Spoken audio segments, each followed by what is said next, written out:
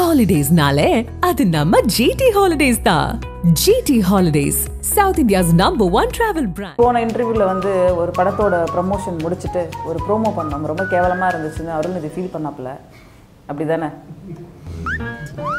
அதை வேற ஞாபகப்படுத்திட்டீங்க.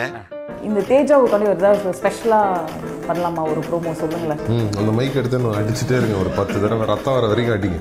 இந்த டக்கால்ட்டி வேலை என்கிட்ட வச்சுக்காத. இந்த படம் பற்றி சொல்லுங்க அரவிந்த். டெஃபினட்டாக நீங்கள் வந்து இவர் படங்களுக்குன்னு ஒரு எக்ஸ்பெக்டேஷன் இருக்கும். அந்த படம் கண்டிப்பாக ஃபுல்ஃபில் பண்ணும்.